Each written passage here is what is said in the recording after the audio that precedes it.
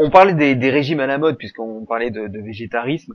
Euh, il y a le crudivorisme, le régime paléo, végétarien, végétalien, le régime sans gluten.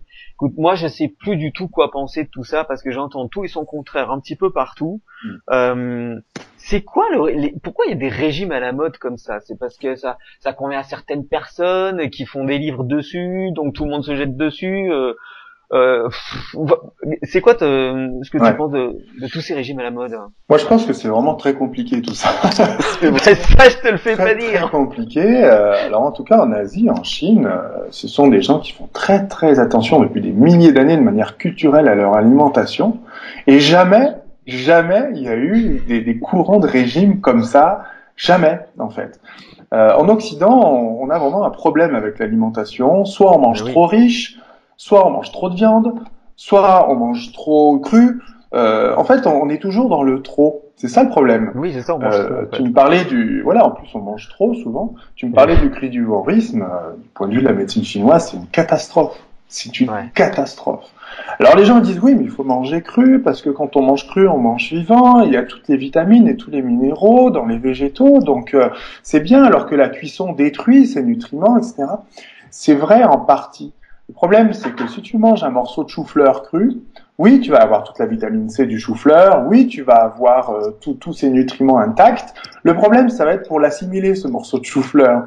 Ton corps va dépenser une quantité incroyable d'énergie et à la longue, je dis bien à la longue, euh, si on mange que du chou-fleur cru, que des pommes crues, que des carottes crues, que des, des légumes crus tout le temps, à la longue, on finit par épuiser totalement l'énergie de son système digestif et ne plus pouvoir assimiler ni transformer rien du tout. Donc, pour la médecine chinoise, manger trop cru refroidit et fatigue énormément le système digestif, l'organisme. Alors que les gens qui mangent très cru vont avoir très rapidement les mains froides, ils vont toujours avoir la petite laine sur le dos, ils vont être fragiles l'hiver, ils vont se choper très rapidement des rhumes, etc. Et puis finalement, ils vont faire des œdèmes, ils vont avoir les jambes qui vont commencer à gonfler facilement, ils comprendront pourquoi, pourquoi ils n'arriveront pas à perdre leur poids alors qu'ils mangent des salades à longueur d'été et d'année, et disent je comprends pas, je perds pas mon poids, tout simplement parce que manger trop cru ralentit tout le métabolisme du système digestif, mais aussi du réseau lymphatique, etc., et favorise euh, l'accumulation d'eau, de liquide, et refroidit l'organisme, affaiblit l'organisme et affaiblit les défenses immunitaires également.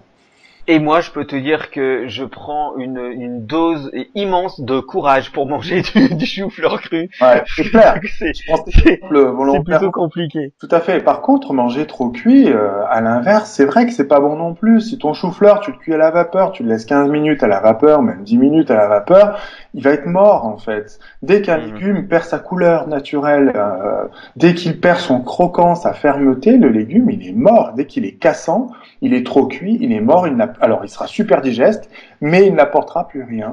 Encore une fois, c'est la loi du milieu, la loi du yin-yang que prône la médecine traditionnelle chinoise, c'est-à-dire ne pas manger cru, mais ne pas manger trop cuit non plus. Juste cuire suffisamment, alors soit au wok, en faisant sauter euh, rapidement 4-5 minutes, en coupant en petits morceaux comme je, fais moi-même dans ma cuisine, soit à la vapeur, mon, mon brocoli je le mets 7 ou 8 minutes à la vapeur, juste pour que ce soit cuit, pour que le rendre digeste, Certes, on détruit un tout petit peu ses valeurs nutritionnelles, mais en fait, l'essentiel de la valeur nutritionnelle du légume, elle est à l'intérieur du légume. Donc, on cuit juste le pourtour du légume, on le rend ainsi beaucoup plus facile à assimiler, et on, le garde vivant. Il a gardé sa couleur, il a gardé sa fermeté, il reste vivant, il nous apporte encore une grande quantité de vitalité, de, de vitamines et de minéraux.